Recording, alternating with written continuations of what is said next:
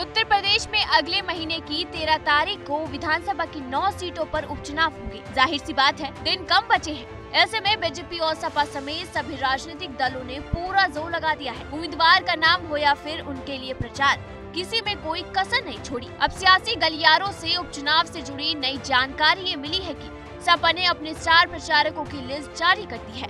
सपा ने कुल 19 स्टार प्रचारक यूपी उपचुनाव के रण में उतारे हैं। सपा के स्टार प्रचारकों की लिस्ट में अखिलेश यादव, राम गोपाल यादव, मोहम्मद आज़म खान टिम्पल यादव, जया बच्चन, शिवपाल यादव, रामजी लाल सुमन श्याम लाल पाल, बाबू सिंह कुशवाहा, हरेंद्र मलिक, लालजी वर्मा, अवधेश प्रसाद, नरेश उत्तम पटेल, इंद्रजीत सरोज, माता प्रसाद पांडे, विशंबर प्रसाद, राम अचर राजभर ओम प्रकाश सिंह और कमाल अख्तर का नाम शामिल है।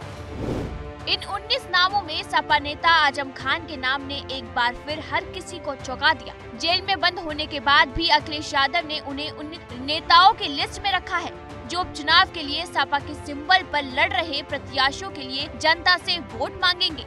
इससे साफ़ ज़ाहिर है कि आज़म खान की अहमियत पार्टी में काफ़ी ज़्यादा है। तभी तो लोकसभा चुनाव में भी सपा ने उन्हें स्टार प्रचारक बनाया था। जबकि वो तब भी जेल में ही थे। अब सवाल ये है कि क्या आज़म जेल से बाहर आकर सपा के लिए प्रचार करेंगे? बता दें, जिन नौ विधानसभा सीटों पर उपचुनाव होने हैं, उनमें अंबेडकर नगर की कटहरी, मैनपुरी के करहल मुजफ्फरनगर की मीरापुर, गाजियाबाद, मिर्जापुर की मंझावा, कानपुर शहर की सीसामाऊ, अलीगढ़ की कहर, प्रयागराज की फूलपुर और मुरादाबाद की कुंदर की सीट है। इन सभी सीटों पर अखिलेश यादव ने अपने उम्मीदवारों का ऐलान कर दिया है।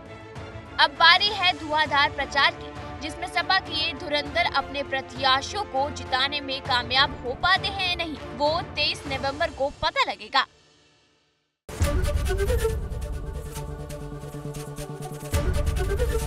एबीपी गंगा, खबर आपकी जुबा आपकी।